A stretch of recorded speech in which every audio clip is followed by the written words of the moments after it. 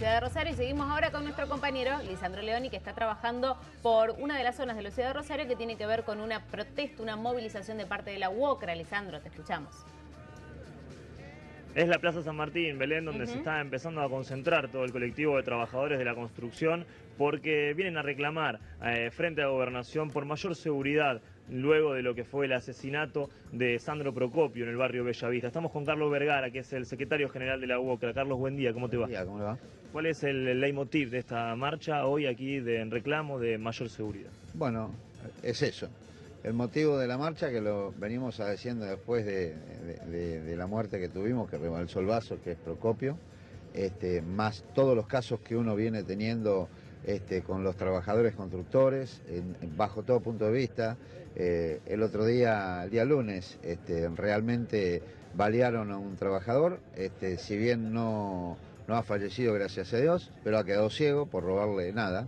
Este, roban bicicleta, roban la moto, te roban el celular, te roban las zapatillas, con arma blanca, con arma de fuego. A la sociedad entera le pasan un montón de cosas, a vos, a mí, a cualquiera. Entonces decidimos desde la Unión Obrera de la Construcción, desde gente del Colegio de Arquitectos, desde la ciudadanía en general, porque la estamos invitando a hacer una marcha por la seguridad, la vida y el trabajo. ¿Cuál es el pedido del gobierno provincial? pedido del gobierno provincial es juntarnos eh, las partes que, que hoy estamos acá, vamos a ver este, cuántas instituciones este, nos podemos sentar y hablar directamente con el gobernador.